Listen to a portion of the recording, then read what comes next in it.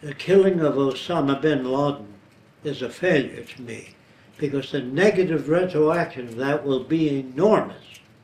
The amount of hatred and people that will die as a result of that.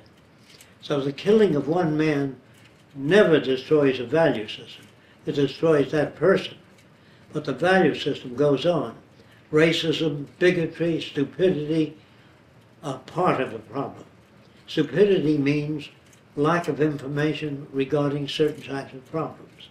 When you read in a book that revenge is sweet, and if that takes as a system, it hurts people. Therefore, all that type of literature has to go. To the extent that we raise our children with artificial values, that will produce harm in the future. You think, well, they're only children. I don't think it's that necessary. Well, war, guns, possession of guns are partly nurtured by our culture. And guns give people a sense of power, a false sense of power. Real sense of power is delivery of information that's relevant to people. Of course, you don't sense it right away. You don't feel a glorious feeling doing that. But really, it's a long-term investment. And all short-term investments may appear to solve problems, but they only perpetuate problems into the future. A major problem with the world's people today is they believe that human values and behavior and decisions are made within a human being. Actually, this is not the case. That's a major cause of most of the world's problems. It is the environment they're reared in. If you cannot understand that, think of the language you use and the values you have and the attitudes about a good old USA. If you brought up in Iran, the value system would be different. Your language would be different. Therefore, it is not within the human being to know the difference between what you would call operant behavior or useful behavior or useful values. All your values are inculcated by environment, the books you read, the motion pictures you see, the role models you have. Therefore, human beings are not, I repeat this, are not responsible for their values. They are learned. And if you don't understand that, you should become more familiar with the effects of environment on human behavior. The very fact that they used to burn witches in Salem, Massachusetts, might mean that within that area, most people were brought up with such a value system. The notions of heaven and hell come from books and other people. Your language comes from your environment. Possibly the difference between a Roman and a Greek would be the environment they're reared in. If you don't understand that, you need a lot of education, a lot of information, and you'll have to seek it. We have to seek information that's relevant to people, not information that's based upon opinion, folkways, hand-down values, or feelings of good and bad. All those feelings of good, bad, right, wrong are all learned. Everything is learned. If you still don't understand that, look back at the words you use and you'll find that they're words that you've picked up from your environment. An Englishman speaks with an English accent not because he's English, because he's been exposed to that environment and those sounds of words. An Australian speaks like an Australian because he's brought up in an environment that utilizes that dialogue. A northerner, southerner speaks different than a northerner. And if you still don't understand that, that's the best I can do. We reflect our culture. Osama bin Laden is dead, but the value system that produced him is not. It's quite alive. And uh, that goes for the Nazis, the Ku Klux Klan, the White Citizens Council, the value system still alive. What is needed is not assassinations, not murder, not killing, no armies or navies to solve problems. What is really needed is a change in our values. I believe in the Bible you'll find a section where Jesus Christ mentions, He who is without sin, let him cast the first stone. I don't know what the word sin means, but I do know this. Erroneous values can cause un, unbelievable suffering amongst people. And we, our nation, like other nations, are mainly like children that do not have answers, that do not have solutions of problems, whereby many solutions are violent and they do not solve problems. What is really needed is a change in values, not the election of this governor or that governor. There's no change in values in that.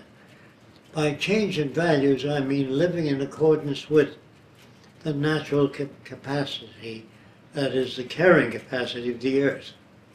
And if we violate that, there are all kinds of problems. When you violate the laws of nature, which are really inviolable, they will produce other negative effects.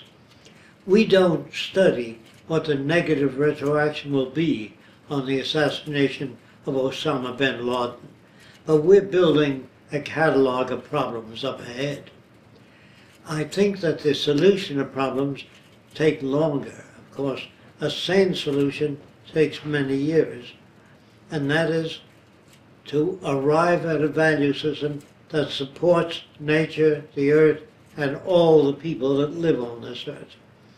If they all go off in different directions and evolve different value systems, there's got to be trouble. And you cannot solve problems by killing people, although most of you believe that revenge is sweet.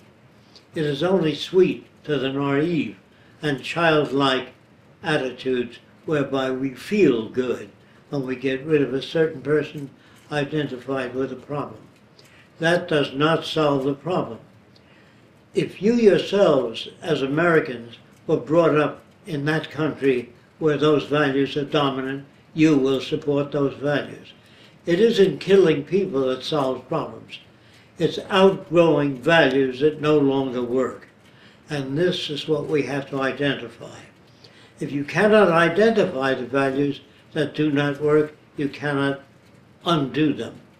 Only through education can we change human values. And what we have to do is approach nations and share with them some of our values, if we can.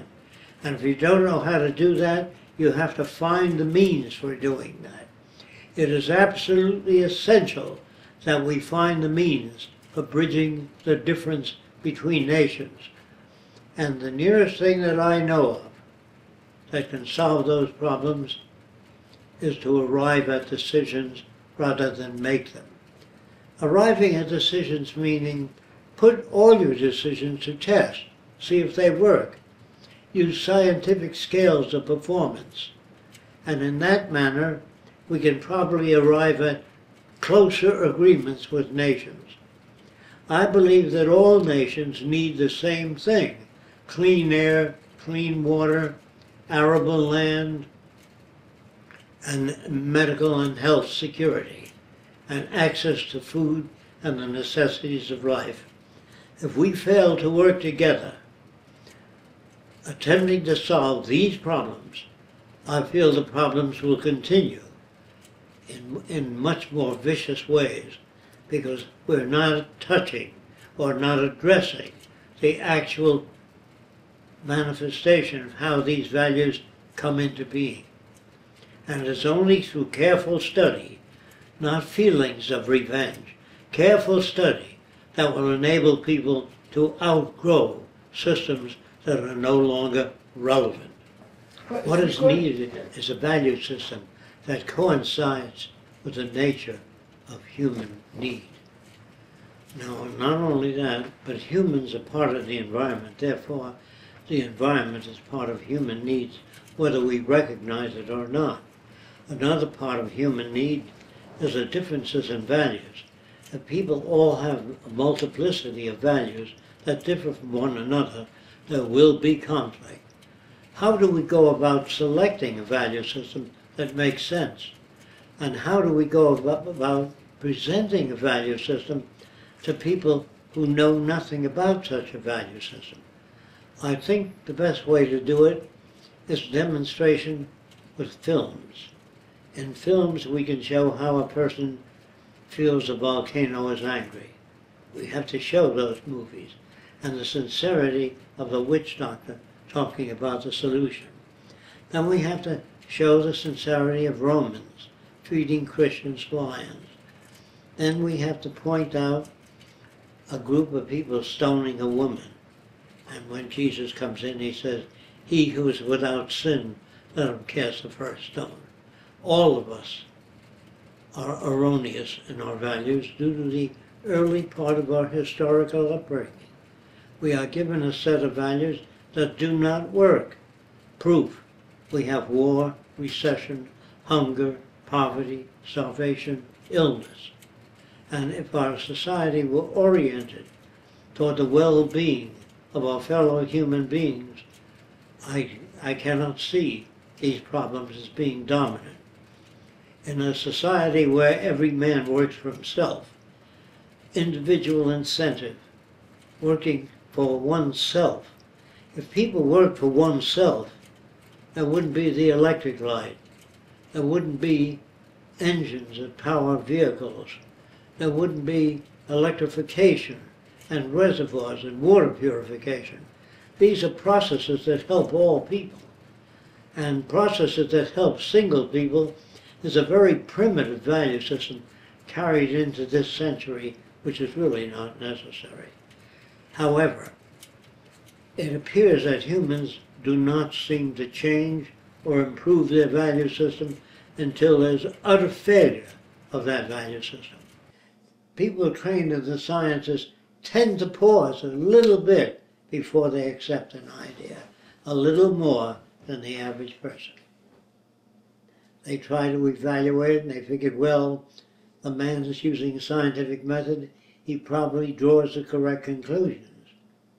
You know, when you have faith in somebody, believe in somebody, a scientist doesn't believe in anything, either accepts, rejects, or holds in abeyance. That is, does not make a judgment until verifiable evidence is produced.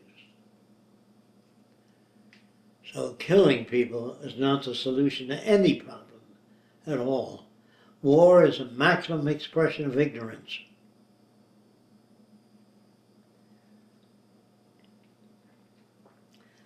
Good and bad is part of a value system.